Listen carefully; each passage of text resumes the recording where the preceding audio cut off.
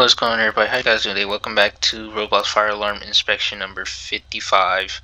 Yes, I said it, number 55. You've came a long way. We're halfway there. We're halfway to Roblox Fire Alarm Inspection number 60. And yes, we've came a long way from Roblox Fire Alarm Inspection number 1 to 55. So sit back, relax, and enjoy. Don't forget to like, comment, and subscribe. And let me know what other fire alarm systems or videos you would like to see me. I will be having some Roblox Crossing videos out pretty soon. Not sure when, but they're going to be coming out pretty soon. So first and foremost, we're back at it again. We're back at the OPR Event Center again for I don't know how many times we've been here. If you've seen my videos, we've been to this event center so many times. But the only change is we don't have the little gym no more. Sadly, it got removed. Now, what I did to add the realism, I added some little, you know, stickers on the windows: Fire-Lite, Fire Alarm Service, Tyco, and ADT. Uh, first and foremost, this is an event center, and you know this is an active event center. So we like host community events and all that stuff, we have people that actually come. So uh, we removed the pull stations and all that stuff, but the whole system is pretty much the same except for two, a couple alarms. So starting off right here, of course, we have a uh, Federal Signal 450D horn, and then down there is a Wheelock MT uh, with a blue strobe lens for the security system. Let me just make this quick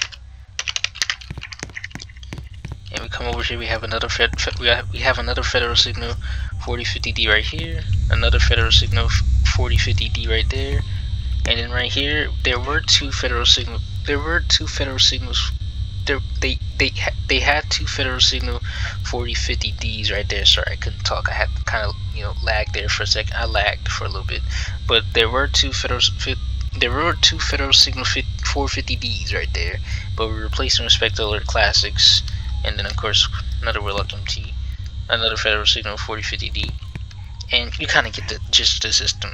So pretty much from that wall right there to here, to right there, and over there, those are all Federal Signal 450D fire alarms.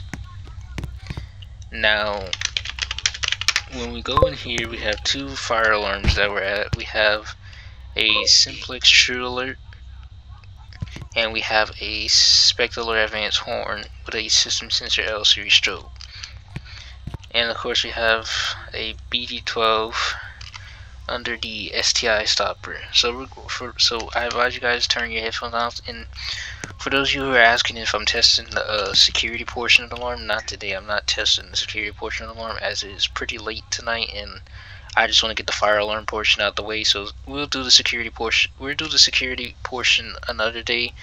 Um, but yeah, sit back, relax, enjoy. Also, I do want to mention to you guys there is a special video coming up soon. I'm not going to reveal it. I'm not going to let you know, but we have a special guest that's coming back soon.